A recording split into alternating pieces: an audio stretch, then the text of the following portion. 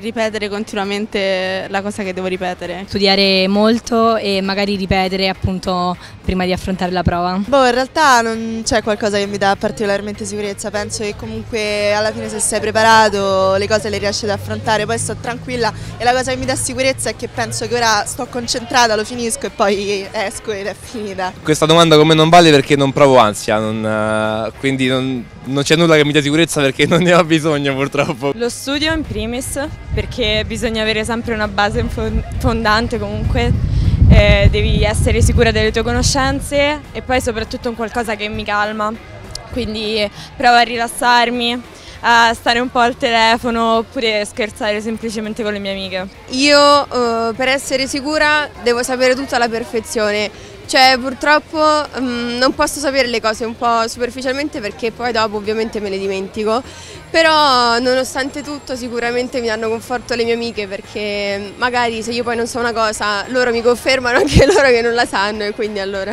Beh comunque sapere di aver studiato e preparato al meglio la prova è, diciamo, è fondamentale, quindi più che altro quello. Gli amici li accantoniamo quando dobbiamo studiare. Studiare eh, molti giorni prima e con altre persone magari, con amici e, e, e quindi niente, studiare, studiare molto.